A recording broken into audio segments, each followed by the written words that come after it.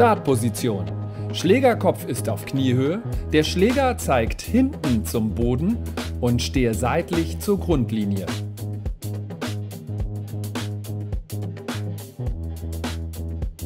Schlage den Ball nun von hinten unten nach vorne oben.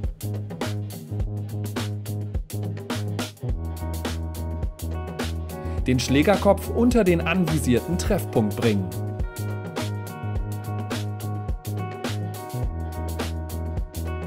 Treffpunkt.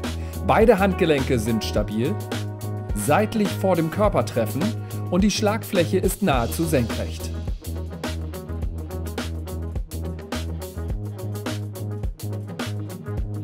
Endposition. Der Schläger ist vorn oben in Schulterhöhe.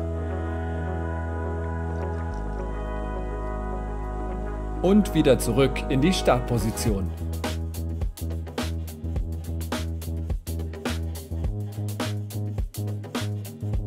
Schaue bis zum Treffpunkt immer auf den Ball.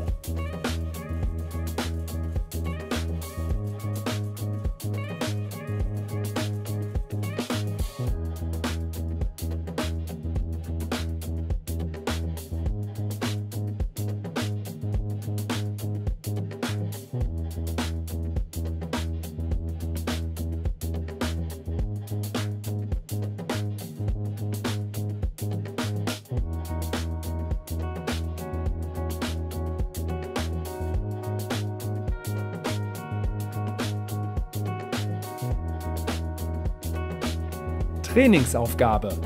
Schlage 10 Mal über das Netz ins Feld, zuerst von der T-Linie und wenn das gut klappt, von der Grundlinie.